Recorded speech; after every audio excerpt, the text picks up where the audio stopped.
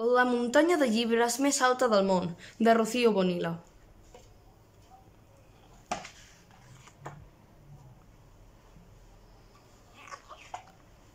L'Enric estava convençut que havia nascut per volar.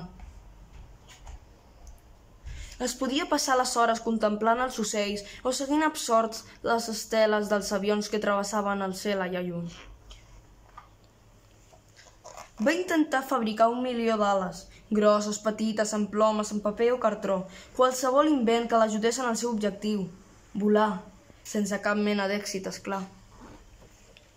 Però l'Enric no es rendia pas. Cada Nadal escrivia una carta al Pare Noel i li demanava, si us plau, si us plau, si us plau, unes ales que volessin de veritat.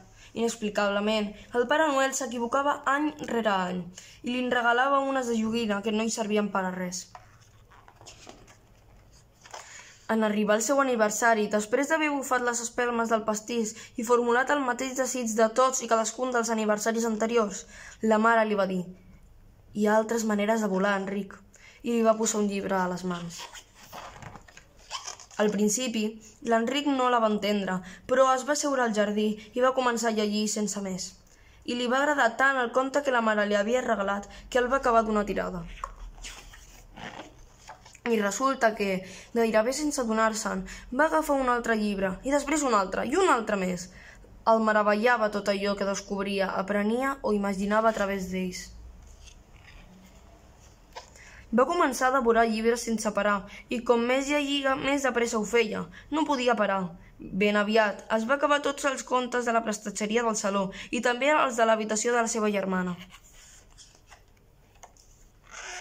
Quan se'n va voler adonar, tenia el jardí ple a vessar de llibres.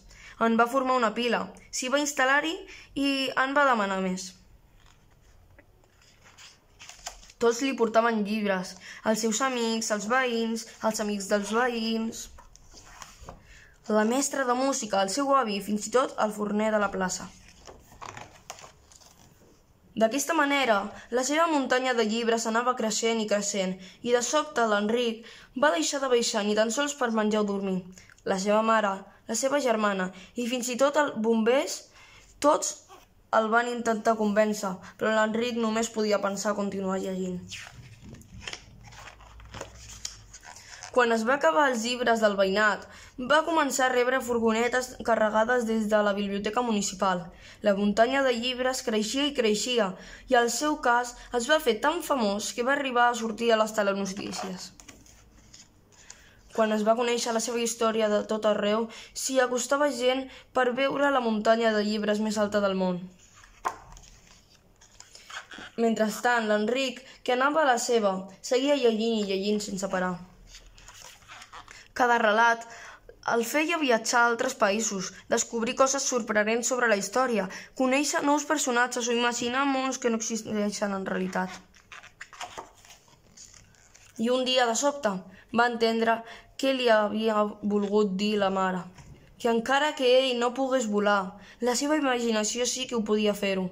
De fet, es va donar que no havia deixat de volar d'ençà, que va començar a llegir el primer llibre i en aquell moment va desitjar baixar de la seva muntanya de llibres per explicar-ho a la mare. Però com? I llavors la seva imaginació el va fer volar un cop més. I aquest ha sigut el llibre de la muntanya de llibres més alta del món.